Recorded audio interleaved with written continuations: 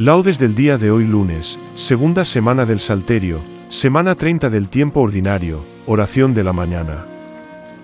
Nos santiguamos la boca y decimos, Señor, abre mis labios. Y mi boca proclamará tu alabanza. Salmo 94. Antífona.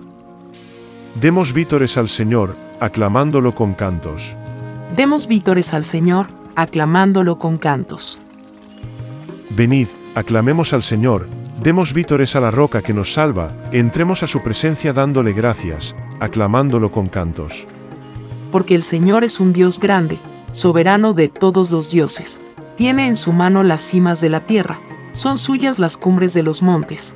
Suyo es el mar, porque Él lo hizo, la tierra firme que modelaron sus manos. Venid, postrémonos por tierra, bendiciendo al Señor, Creador nuestro.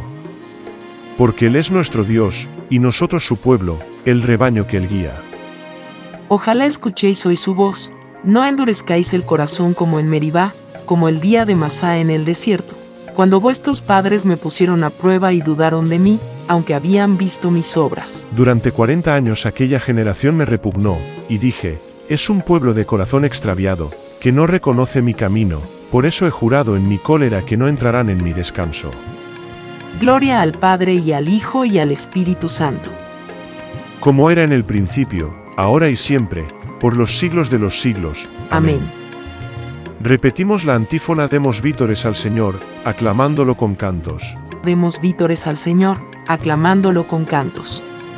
Himno, alfarero del hombre, mano trabajadora que, de los hondos limos iniciales, convocas a los pájaros a la primera aurora, al pasto los primeros animales. De mañana te busco, hecho de luz concreta, de espacio puro y tierra amanecida. De mañana te encuentro, vigor, origen, meta de los profundos ríos de la vida. El árbol toma cuerpo, y el agua melodía, tus manos son recientes en la rosa, se espera la abundancia del mundo a mediodía, y estás de corazón en cada cosa. No hay brisas si no alientas, montes si no estás dentro, ni soledad en que no te hagas fuerte. Todo es presencia y gracia, vivir es este encuentro, tú, por la luz, el hombre, por la muerte. Que se acabe el pecado. Mira que es desdecirte dejar tanta hermosura en tanta guerra. Que el hombre no te obligue, Señor, a arrepentirte de haberte dado un día las llaves de la tierra. Amén. Salmo 41. Antífona 1. Cuando entraré a ver el rostro de Dios. ¿Cuándo entraré a ver el rostro de Dios? Como busca la cierva corrientes de agua, así mi alma te busca a ti, Dios mío. ¿Tienes sed de Dios, del Dios vivo? ¿Cuándo entraré a ver el rostro de mi Dios? Las lágrimas son mi pan de noche y día, mientras todo el día me repiten, ¿dónde está tu Dios? Recuerdo otros tiempos, mi alma desfallece de tristeza, como marchaba a la cabeza del grupo, hacia la casa de Dios, entre cantos de júbilos y alabanzas, en el bullicio de la fiesta. ¿Por qué te acongojas, alma mía, por qué te me turbas? Espera en Dios que volverás a alabarlo, salud de mi rostro, Dios mío. Cuando mi alma se acongoja, te recuerdo, desde el Jordán y el Hermón y el Monte Menor. Una cima grita a otra cima con voz de cascadas, tus torrentes y tus olas me han arrollado. De día el Señor me hará misericordia, de noche cantaré la alabanza del Dios de mi vida. Diré a Dios, roca mía, ¿por qué me olvidas? ¿Por qué voy andando sombrío, hostigado por mi enemigo? Se me rompen los huesos por las burlas del adversario, todo el día me preguntan, ¿dónde está tu Dios? ¿Por qué te acongojas, alma mía, por qué te me turbas? Espera en Dios, que volverás a alabarlo, salud de mi rostro, Dios mío. Gloria al Padre, y al Hijo, y al Espíritu Santo. Como era en el principio, ahora y siempre, por los siglos de los siglos. Amén. Amén. Repetimos la antífona 1. Cuando entraré a ver el rostro de Dios. ¿Cuándo entraré a ver el rostro de Dios? Cántico del Sirácides 36. Antífona 2. Muéstranos, Señor, tu gloria y tu compasión. Muéstranos, Señor, tu gloria y tu compasión. Sálvanos, Dios del universo, infunde tu terror a todas las naciones, amenaza con tu mano al pueblo extranjero, para que se sienta tu poder. Como les mostraste tu santidad al castigarnos, muéstranos así tu gloria castigándolos a ellos, para que sepan, como nosotros lo sabemos, que no hay Dios fuera de ti. Renueva los prodigios, repite los portentos, exalta tu mano, robustece tu brazo. Reúne a todas las tribus de Jacob y dal su heredad como antiguamente. Ten compasión del pueblo que lleva tu nombre, de Israel, a quien nombraste tu primogénito. Ten compasión de tu ciudad santa, de Jerusalén, lugar de tu reposo. Llena a Sión de tu majestad y al templo de tu gloria. Gloria al Padre, y al Hijo, y al Espíritu Santo. Como era en el principio, ahora y siempre, por los siglos de los siglos. Amén. Amén. Repetimos la antífona 2. Muéstranos, Señor, tu gloria y tu compasión. Muéstranos, Señor, tu gloria y tu compasión. Salmo 18. Antífona 3. Bendito eres, Señor, en la bóveda del cielo. Bendito eres, Señor, en la bóveda del cielo. El cielo proclama la gloria de Dios, el firmamento pregona la obra de sus manos, el día al día le pasa el mensaje, la noche a la noche se lo murmura. Sin que hablen, sin que pronuncien, sin que resuene su voz, a toda la tierra alcanza su pregón y hasta los límites del orbe su lenguaje. Allí le ha puesto su tienda al sol, él sale como el esposo de su alcoba, contento como un héroe, a recorrer su camino. Asoma por un extremo del cielo, y su órbita llega al otro extremo, nada se libra de su calor. Gloria al Padre, y al Hijo, y al Espíritu Santo. Como era en el principio, ahora y siempre, por los siglos de los siglos. Amén. A continuación, tomaremos las lecturas del día. De la carta del apóstol San Pablo a los Efesios 2, 19 a 22 Hermanos, ya no son ustedes extranjeros ni advenedizos, son conciudadanos de los santos y pertenecen a la familia de Dios, porque han sido edificados sobre el cimiento de los apóstoles y de los profetas, siendo Cristo Jesús la piedra angular, sobre Cristo, todo el edificio se va levantando bien estructurado, para formar el templo santo en el Señor, y unidos a él también ustedes se van incorporando al edificio, por medio de él. Espíritu Santo, para ser morada de Dios, palabra de Dios, te alabamos Señor.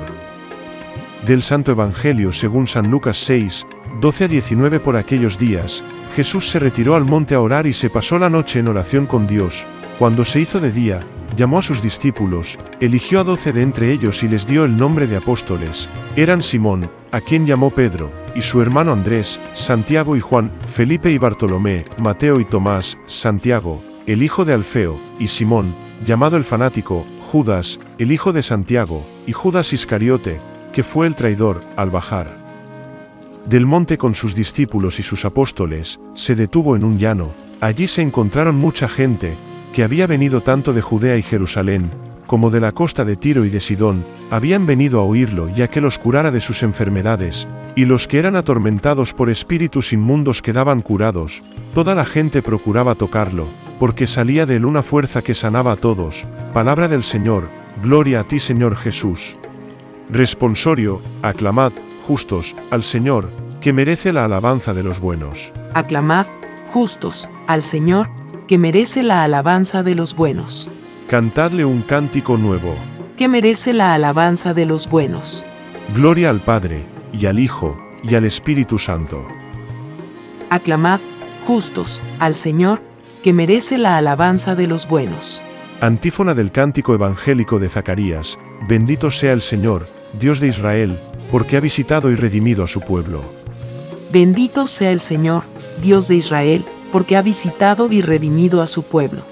Nos santiguamos y decimos, suscitándonos una fuerza de salvación en la casa de David, su siervo, según lo había predicho desde antiguo por boca de sus santos profetas.